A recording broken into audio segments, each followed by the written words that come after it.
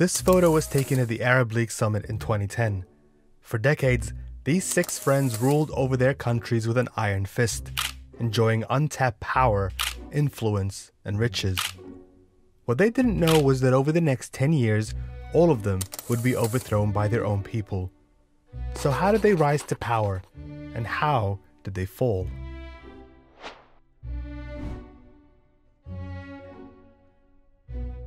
Let's start with Zain al Abidin bin Ali.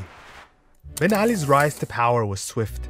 He was raised in a middle class family in the Tunisian port city of Sousse, where he joined the resistance movement against French colonialists and later enlisted in the army, working his way up to become the country's chief of military intelligence. In 1987, he was appointed prime minister by Tunisia's anti colonial icon Habib Bourguiba, whose health and popularity was in steep decline. Just one month later, Ben Ali removed Bourguiba from power and declared himself Tunisia's president. As leader, Ben Ali enacted sweeping reforms, promising a new era for Tunisia after years of repression. But these didn't last long, and soon his party dominated parliament and he was running unopposed. Critics were jailed and journalists pressured to stay in line. By 2010, Tunisia was one of the world's most repressive regimes. Meanwhile, punitive economic restrictions on the country's working class pushed many to the brink of desperation. On the 17th of December 2010, a young street vendor by the name of Muhammad Bouazizi set himself on fire outside a government house after his license was suspended, lighting a fuse that ignited a historic wave of protests across the country and the region.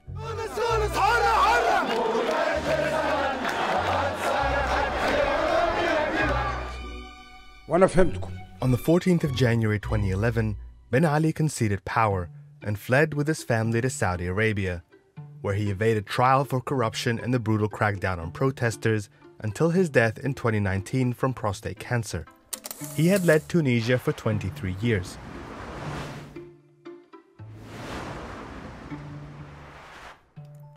Hosni Mubarak was also a military man, born to humble rural means. He rose to prominence as an Air Force pilot who became a war hero following the Yom Kippur War with Israel in 1973. Two years later, he was appointed vice president by Anwar Sadat. In 1981, during a military parade commemorating the war, Sadat was assassinated by armed gunmen, and Mubarak suddenly found himself president. He promised Egyptians economic prosperity, but that never materialized. Instead, he and his family were accused of amassing billions in wealth with the help of real estate tycoons, while his security apparatus ran Egypt's daily affairs with impunity, turning the country into a police state. Following the brutal death of a young man named Khalid Said at the hands of police in 2010, a small anti government swell began to grow against him. When Ben Ali was successfully overthrown in Tunisia, Egyptians were inspired to do the same. On the 25th of January 2011, protesters began occupying Cairo's Tahrir Square.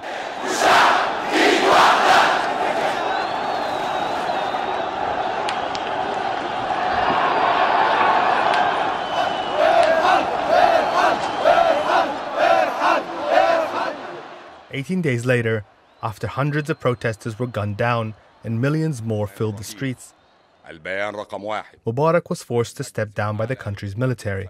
Mubarak, his sons, and associates were tried and sentenced to decades in prison for corruption, fraud, and the killing of protesters.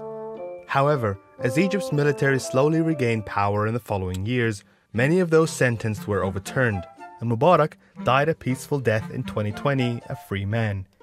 He was president of Egypt for 30 years.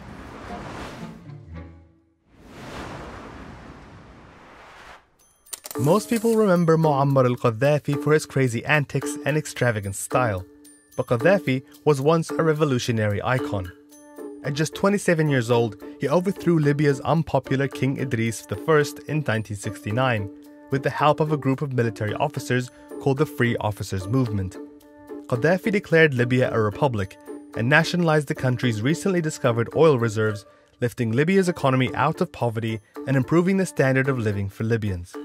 In 1973, he declared a popular revolution to implement a new vision for Libya, his vision, under what he dubbed the Third Universal Theory, rejecting the US and Soviet Union as imperialist powers in favor of a pan Arab, pan Islamic socialism. Gaddafi published his philosophy in a series of volumes later known as the Green Book, implementing them in school curriculums and using them to base his country's political and legal system on. His anti Western narrative soured his relationship with the US, which embargoed Libyan oil in 1982. That was followed by a series of sanctions by the UN following accusations Gaddafi was behind a series of terror attacks. The sanctions crippled Libya's economy and encouraged Gaddafi to exert more control over the country, purging institutions from critics and cracking down on tribal leaders and opposition figures. When Libyans began to protest in 2011, Gaddafi responded defiantly, vowing to shut down and kill those he accused of undermining the country. لكن انا ما عنديش منصب ما عنديش حاجه استقيل منها عندي بندقيتي انا هنقاتل لاخر قطر من, من دمي ومعي الشعب الليبي Thus began the start of the Libyan civil war, pushing many protesters to take up arms in the face of Gaddafi's military. Many officials and officers also defected and set up the National Transitional Council in the eastern provinces of the country. The UN Security Council also stepped in, imposing a no fly zone to ground Gaddafi's air force and stop him bombing his own cities. On the 20th of October 2011, a NATO airstrike destroyed a military convoy carrying Gaddafi. He was detained by a local militia and was found dead a few hours later. He had ruled Libya for 42 years. Like Gaddafi, Yemen's Ali Abdullah Saleh was not going down without a fight. He had ruled over one of the region's poorest and most divided countries, starting out as a soldier fighting in the North Yemen civil war in the 60s and 70s that overthrew the Saudi backed monarch with the help of Egypt's Gamal Abdel Nasser. Saleh eventually became North Yemen's president and by 1990 was negotiating the unification of Yemen and a place for himself as its first leader. Over the following years, he would crush uprisings from his southern opponents as well as from the Houthi rebels in the north. Yemen's economy never recovered from decades of war, but Saleh and his family amassed a private fortune of up to $60 billion. When an uprising began on the 27th of January 2011, Saleh quickly vowed not to seek re election, but refused to step down as president, even after an assassination attempt in June left him physically scarred. He eventually ceded power to his deputy and disappeared from public light, but he still wasn't done. In 2014, he allied with his former enemies in the north, the Houthis, and helped them take over the capital Sana'a. A regional military coalition led by Saudi Arabia responded, backing Yemen's government. This ignited a devastating civil war, killing tens of thousands and plunging the country into the world's worst humanitarian crisis. This is not a natural disaster. It is man made. In late 2017, the Houthis discovered Saleh was in talks with Saudi and the UAE to end the war and reinstate him as Yemen's leader. Branded a traitor, Saleh was killed while trying to flee an ambush by Houthi fighters on the 4th of December. He had ruled North Yemen for 12 years and Yemen for 22. This could have been where the story ends. But in 2018, a new wave of popular uprisings would shake the region's power structure once again. Its first target was Sudan's longtime dictator, Omar al Bashir. Like his counterpart in Egypt, Omar al Bashir cut his teeth in the Yom Kippur War in 1973, serving as a paratrooper in the Egyptian army.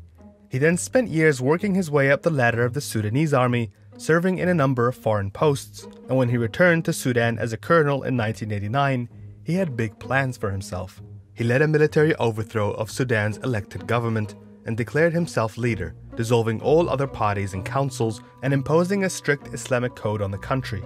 As president of Sudan, Bashir also inherited the decades long civil war between the government and separatist factions, fought largely over ethnic and religious divisions between ruling Muslim Arabs in the north and non Arab Africans in the south. The height of the war was in Darfur, where Bashir brutally cracked down on rebel groups, killing hundreds of thousands in what was described as a campaign of ethnic cleansing. In 2008 and 2012, Bashir was indicted by the International Criminal Court for war crimes and accused of orchestrating a genocide in Darfur. Bashir rejected the claims and refused to stand trial. The UN responded by imposing heavy sanctions on Sudan, when South Sudan eventually seceded in 2011, Sudan's economy plummeted, leading to skyrocketing inflation rates and unemployment. By 2018, subsidies for bread and electricity had been stripped, leaving large sections of the population angry and desperate. So when Bashir announced he would run for re election, the Sudanese people erupted, filling public squares with months of protest.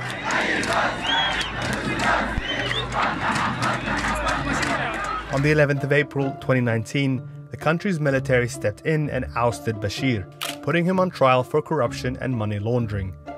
In February 2020, Sudan's transitional government agreed to hand Bashir over to the ICC to stand trial for war crimes in Darfur. This brings us to our final Arab leader, Algeria's Abdelaziz Bouteflika. Like Ben Ali, Bouteflika began his career fighting French colonialism. He joined the National Liberation Front and worked his way into several government positions following independence, as well as president of the UN General Assembly in 1974. Just a few years later, he fled the country after he was caught siphoning 60 million dinars into foreign accounts. He was convicted in absentia, but later pardoned and invited back. He repaid 12 million, but the rest remains unaccounted for. In 1992, Algeria's army orchestrated a coup against an elected conservative Islamic party, plunging the country into a decade of violent civil conflict. By 1999, Bouteflika re-emerged as a conciliatory figure that also had the military's blessings, and after an election marred by allegations of fraud, he was voted into power. As president, Bouteflika promised strong economic reforms and amnesty for those involved in the civil war. But a decade later, plummeting oil prices left the resource rich government struggling to maintain subsidies. When protests began in 2011, Bouteflika pacified Algerians by promising jobs and social housing. This convinced some, while others feared a return to the violence of the 90s. But two years later, Bouteflika suffered a debilitating stroke that left him unable to appear in public. As time dragged on, Algerians were left wondering whether he was still running the country and if he was even alive. So on the 10th of February 2019, when a statement announced he would seek re election, Algerians had had enough.